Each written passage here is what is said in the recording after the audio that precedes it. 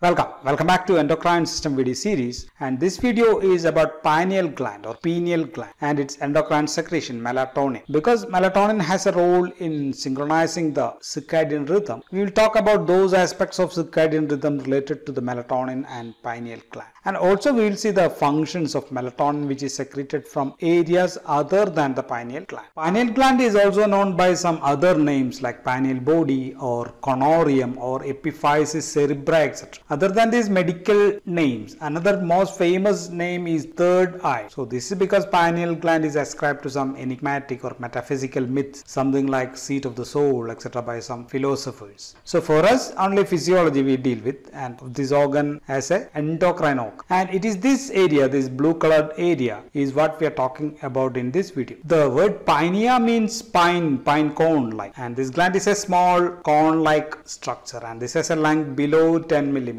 some around 0.8 centimeter and a reddish gray colored one and with a weight of 0.1 grams and this has a stalk called as pineal stalk. Now coming to the location of this pineal gland. Pineal gland is a part of diencephalon of the brain. Diencephalon is the interior part of the brain. So it's below the cortex and above the midbrain of the brain stem. So it will be some around here, this area, the most central regions of the brain. And diencephalon includes the thalamus, this yellow round like area and there is two thalami, one thalami over here also the right and left and the hypothalamus, this blue one, the anterior one and the subthalamus, this not in this picture, this here in the some area here near to the midbrain and epithalamus, this one is the epithalamus, this blue one on the posterior side. So it's this part we are talking about in this video and this area is superior and superior to the superior colliculi of the midbrain. So this green one is the superior colliculi, this is the inferior colliculi of the midbrain. So superior to superior colliculi and posterior to the thalamus. So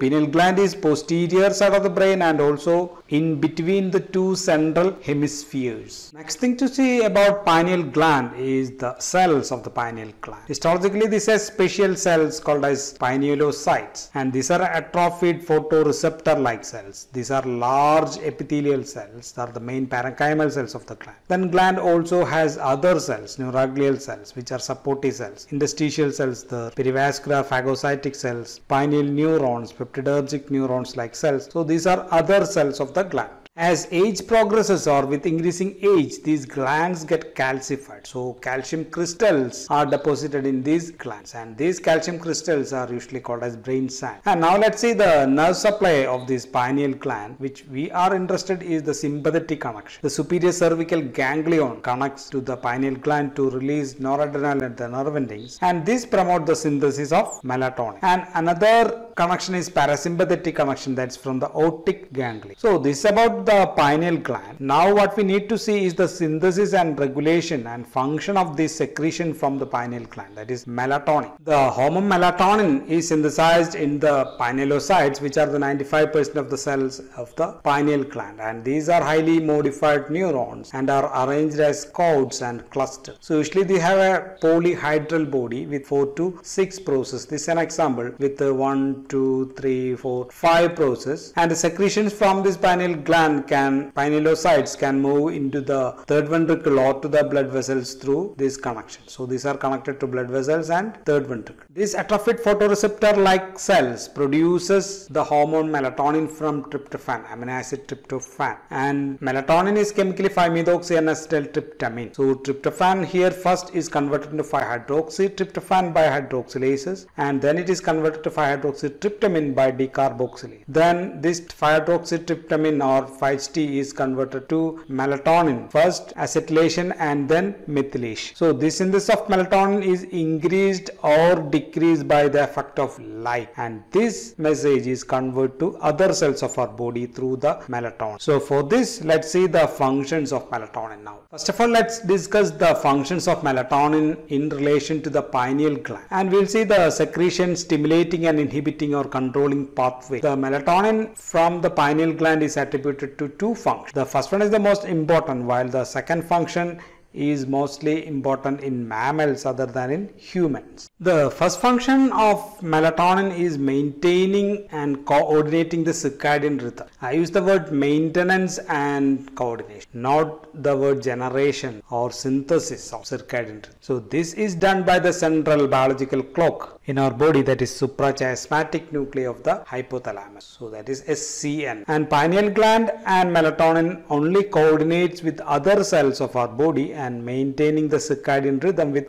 other hormones like glucose So melatonin is synthesized during darkness while its synthesis is inhibited during daylight and we will see how it happens after a while. The second function of melatonin is in reproduction. Reproduction related to seasonal fertility in animals. This is important in mammals, certain mammals but not in humans the role is not well established and it is not relevant also because we don't have this seasonal fertility but it has got some role which we will see later. Both these functions are not opposite or these functions are related also, not separate. During long dark periods of season, more melatonin will be produced. So this produces less reproduction and more light conditions, summer etc. less melatonin and so reproduction will be more. So that's the logic. Now coming to the first role of melatonin. The first role is in circadian rhythm or sleep wake cycle, maintenance and coordination. So let's start from the eye because this is the most light sensitive area of our body. And in the retinal layer of our eye, other than these rods and and these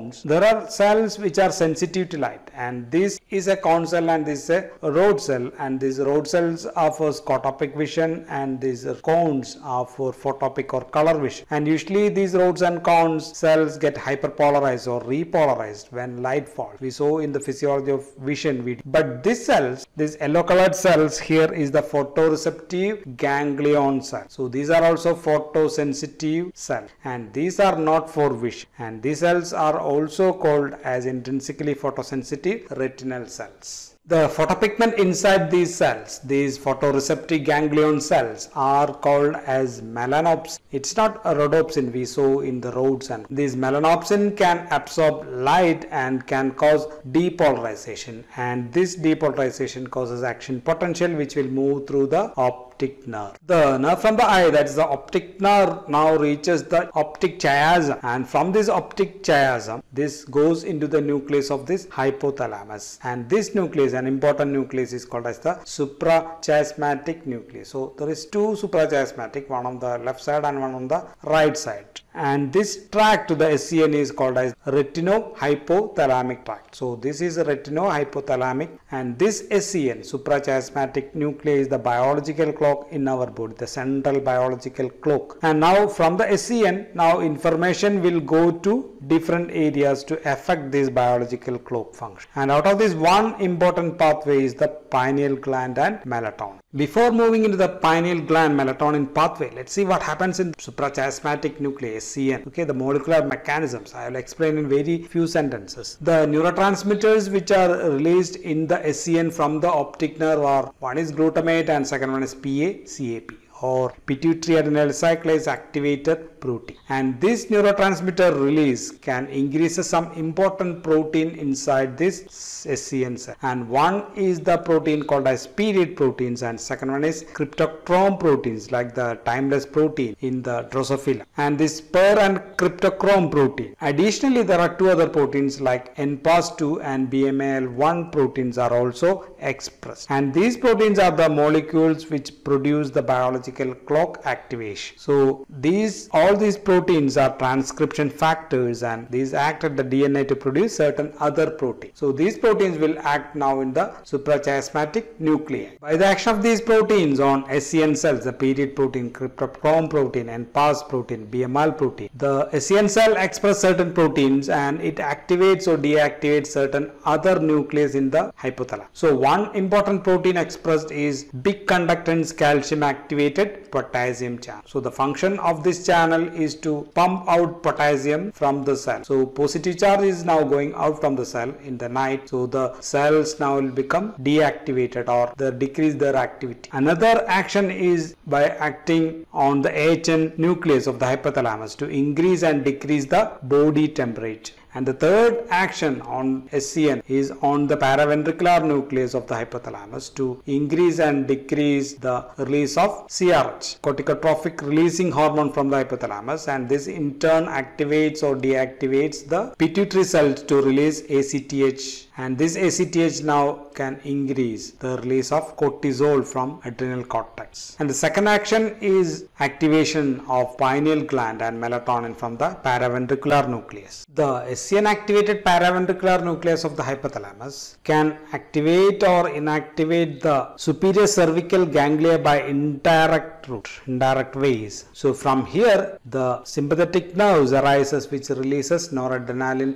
to the pineal gland. So if noradrenaline is released the production of secretion of melatonin will be in. So in day, daytime this causes inhibition of noradrenaline release and thereby no production of melatonin. So here in daytime all these pathways are inhibited and there is no production of melatonin. So during the night, the inhibition for the release of noradrenaline is removed by this activation of all these paths. So finally, melatonin is released from the pineal gland and this acts through the melanocortin receptors, MC receptors and produces its effect. So at night, melatonin is released and during day, there is no melatonin release. So from the eye, impulses are received at the suprachiasmatic nucleus which in turn increases or decreases the production of melatonin from the pineal gland. So the biological clock set up by the suprachiasmatic nucleus is conveyed through the melatonin which is released from the pineal gland. So this maintain the circadian rhythm. So this is why this gland is called as the third eye. Their ability to respond to changes in the intensity and amount of light. Now let's see the second function related to reproduction. And melatonin can activate the gonadotropin inhibitory hormone GNIH which is secreted from the dorsomedial nucleus of the hypothalamus. So this is the hypothalamus and this is the anterior pituitary. So activation of GNIH can cause inhibition of gonadotropes of the anterior pituitary. So they are not going to release the hormones FSH and LH. The follicle stimulating hormone and the luteinizing hormone is now reduced. So reduction of this can inhibit the ovaries and testes to produce their sex hormone. So activation of melatonin can cause reduction of sex hormones in male and female of the mammals. So how much this is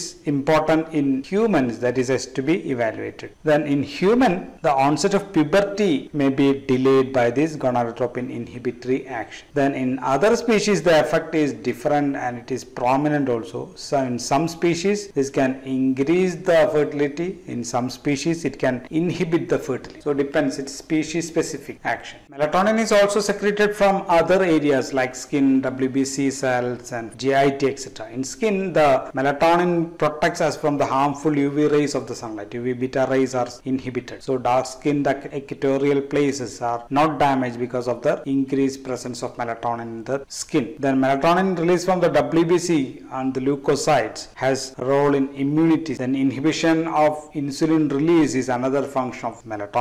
Then melatonin has antioxidant roles. Then anti-aging roles also. Then it's also attributed to the mental health, the sense of direction, spatial navigation, etc. So a wide variety of functions are also attributed to melatonin. There are many melatonin like drugs are available. Melatonin related drugs are available. Melatonin itself used in jet lag. Then alpha MSH analog afamelanotide is in erythropoietic beta protoporphyria. It is used. Then bremelanotide which is an melanocortin 3-4 agonist acting on the receptors used in FSAD like conditions. So there are many drugs are also there in this pathway. So that's all about pineal gland melatonin and their actions in circadian rhythm. Thank you. Thank you for watching.